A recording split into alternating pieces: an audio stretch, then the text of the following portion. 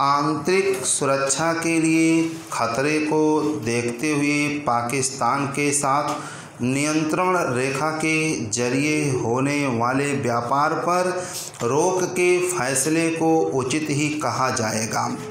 लेकिन यह एक सवाल तो है ही कि क्या इस आशय की सूचनाएँ अभी मिली कि व्यापार की आड़ में पाकिस्तान से हथियार नकली करेंसी मादक पदार्थ आदि भेजे जा रहे थे।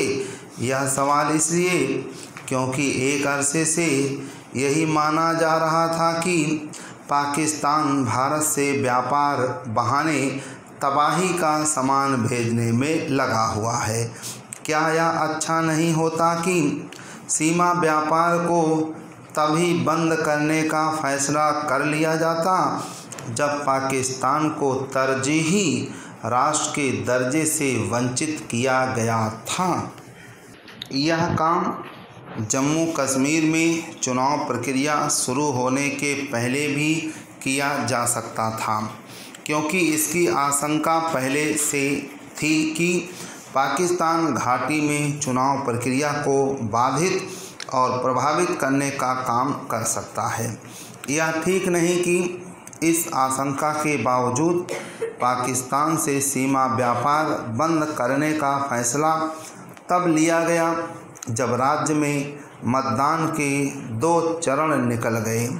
कम से कम अब तो यह देखा ही जाना चाहिए कि जम्मू कश्मीर में कोई ऐसा छिद्र शेष ना रहे, जिसका घाटी के अलगाववादी और आतंकवादी लाभ उठा सकें।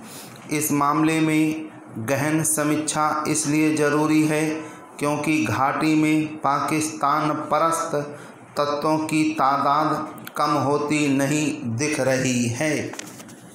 आखिर इसका क्या मतलब? पाकिस्तान के इशारों पर केवल उसके ही हितों के लिए काम करने वाला संगठन हुर्रियत कॉन्फ्रेंस ने किसी रूप में अभी भी सक्रिय है। आखिर इस संगठन की सक्रियता से भारत के हितों की पूर्ति कैसे हो रही है? जितना ज़रूरी यह है कि घाटी के पाकिस्तान परस्त तत्वों के खिलाफ सख्ती बरती जाए, उतना ही यह भी कि वहाँ के अमन पसंद और भारत समर्थक लोगों का भरोसा जीता जाए। कश्मीर के आम लोगों तक पहुँच बढ़ाने की आवश्यकता इसलिए है क्योंकि वहाँ के नेताओं से अधिक उम्मीद नहीं है। क्या यह किसी से छिपा है कि महबूबा मुफ्ती अलगाववादियों वाली भाषा बोलने में लगी हुई हैं? यह आवश्यक ही नहीं, अनिवार्य है कि जम्मू कश्मीर को पटरी पर लाने के लिए वहाँ जो भी कदम उठाए जाने हैं, वे एक साथ उठाए जाएँ। वे चाहे पाकिस्तान पर लगाम लगाने संबंधी हों या फिर घाटी के लोगों में भरोसा जगाने संबंधी, इसका कोई औचित्य नहीं कि रुक रुक कर छोटे बड़े फैसले लिए जाते रहें पाकिस्तान जब तक कश्मीर में दखल देने में समर्थ रहेगा, तब तक वह भारत को तंग करता रहेगा। हैरानी नहीं कि सीमा व्यापार बंद होने के बाद वह जम्मू कश्मीर की सुरक्षा संबंधी अन्य कमजोरियों का लाभ उठाने की कोशिश करें। भारत सरकार को इससे भी परिचित होना चाहिए कि पाकिस्तान केवल कश्मीर में ही दखल देने की कोशिश नहीं करता, बल्कि वह शेष भारत में भी यही करने की कोशिश करता है। पाकिस्तान प्रधानमंत्री इमरान खान का हालिया बयान इसका सबूत है कि पाकिस्तान भारत की चुनाव प्रक्रिया को प्रभावित करना चाह रहा है। कुछ समय पहले इमरान खान यह भी नसीहत दे रहे थे कि भारत में मुसलमानों के साथ किस तरह व्यवहार किया जाना चाहिए। मुख्यमंत्री योगी आदित्यनाथ, यदि किसी दलित के घर भोजन करते हैं तो उनके राजनीतिक विरोधियों को तकलीफ़ होती है। उन्हें डर लगता है कि ऐसा करके भाजपा और संघ परिवार के पदाधिकारी उनके वोट बैंक पर डोले डाल रहे हैं। उत्तर प्रदेश की राजनीति का संकट है कि कई दशकों से पक्ष विपक्ष का पराधर्म एक दूसरे की टांग खींचना मात्र है। राजनीतिक दल वोट बैंक के सिवा कुछ सोचते ही नहीं। इसलिए जब कोई संत या मुख्यमंत्री या समाज सेवी किसी दलित के घर भोजन करता है तो इन दलों को इससे भी वोट बैंक सियासत नज़र आती है।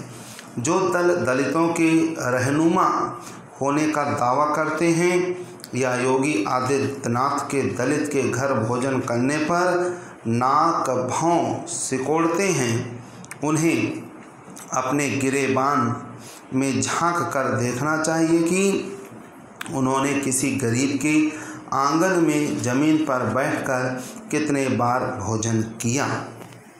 उत्तर भारत में दलित जातियों ने सदियों तक बे इंतहा प्रताड़ना झेली। इसके सामाजिक दुष्परिणाम विविध शक्ल में सामने हैं। यदि इस प्रवृत्ति को सिर्फ़ कानून के बजाय जीवन शैली के स्तर पर नियंत्रित नहीं किया गया तो सामाजिक विखंडन बढ़ता ही जाएगा। इस दृष्टि से उन जातियों के साथ सद्भावपूर्ण व्यवहार ज़रूरी है, जिन्हें अछूत मानकर उनके मौलिक अधिकारों से भी वंचित रखा गया। संतों और संघ परिवार को श्रेय दिया जाना चाहिए कि उन्होंने पिछली सदी के अंतिम दशक में यह अभियान जोरदार ढंग से शुरू किया। उस समय वाराणसी में डोम राजा के घर संतों और हिंदू नेताओं का भोज इस अभियान में मील का पत्थर माना जाता है।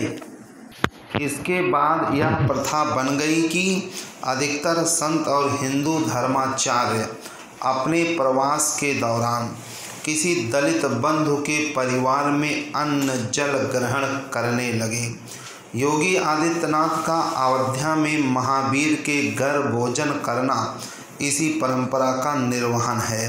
उनके गुरु महंत अवेद्यनाथ भी ऐसा करते थे। पर चुनावी मौसम होने के कारण इस पुण्य प्रवृत्ति को सियासी चश्मे से देखा जा रहा है। इसकी आलोचना करने के बजाय सभी बड़े नेताओं को इसका अनुसरण करना चाहिए। जब कोई ख्याति लब्ध हस्ती किसी दलित गरीब के घर ज़मीन पर बैठकर भोजन करती है तो उस परिवार का गर्व बढ़ता है। यदि यह सियासत है तो ऐसी सियासत वंदनीय है।